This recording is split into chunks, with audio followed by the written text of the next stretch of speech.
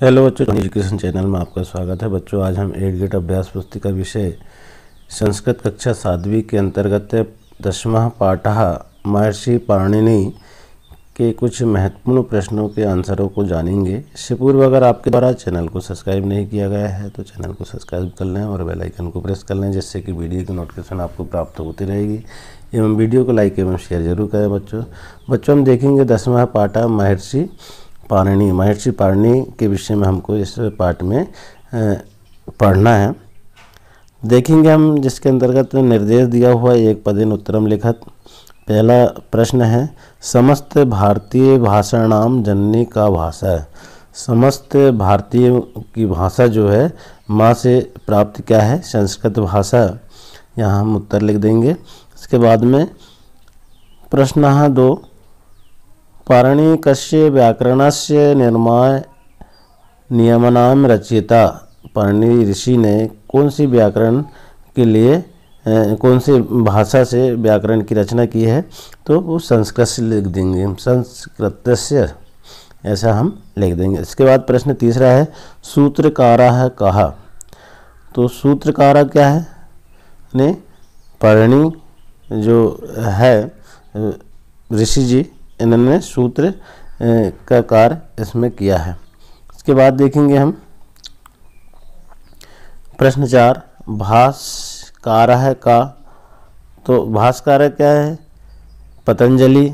इसमें हम पतंजलि लिख देंगे। इसके बाद निर्देश दिया हुआ एक वाक्य उत्तरम लिखत, एक वाक्य में उत्तर को लिखना है। प्रश्न क्या है?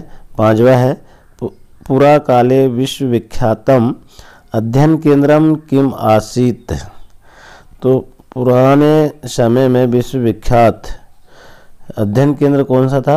तक्षशिला। तक्षशिला यहाँ पर हम लिख देंगे।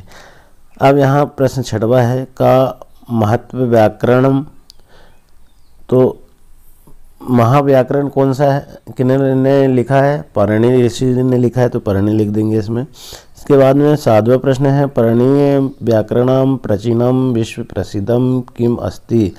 तो परणी के द्वारा जो व्याकरण लिखी गई है, वो प्राचीन पहले समय में विश्व प्रसिद्ध क्यों थी?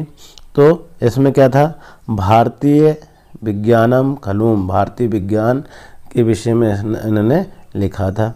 इसके बाद प्रश्न आठवा है, भारतीय विदेशी से विज्ञानिनी का स्मरणती तो भारतीयों ने विदेश, भारत से लेकर विदेश तक विज्ञान की रचना किसके द्वारा की गई है? महर्षि पारणिनि इस इनके ने जो व्याकरण की रचना की है इन्होंने जो विज्ञान की रचना की है विज्ञान को लिखा है तो इनके विज्ञान पारणी महर्षि पारणी के या, मतलब जो है याद करते हैं स्मरणती इसके बाद प्रश्न नौ देखेंगे। दिए गए उत्तरम लिखत प्रश्न नौ है आचार्य सहाय एन व्यंजना वर्णाम कम वर्गाद्वय वर्गीणम वर्गीकरणम क्रूथ तो यहाँ हम उत्तर लिख देंगे महर्षि पारणी। इसके बाद प्रश्न दस है। तस्में पारणी नमः इति श्लोक है पूरियत। इस महर्षि पारणी के श्लोक को पूरा कीजिए। तो क्या है? कि क्या लिखा था इन्होंने श्लोक को पूरा किया था पारणी ने? कि ए नक्षार समय अमान्यम अधिगम्य महेश्वरात कृतत्यनम व्याकरण प्रोक्तनम तस्मय परणे नमः। इस प्रकार से ये श्लोक को पूर्ण किया था। इस पाठ से हम इस श्लोक को देखें। और आशा है बच्चों, आपको वीडियो पसंद आया आया होगा। इसी तरह आने वाले पाठों को हल करने के लिए वीडियो में बने रहें। धन्यवाद।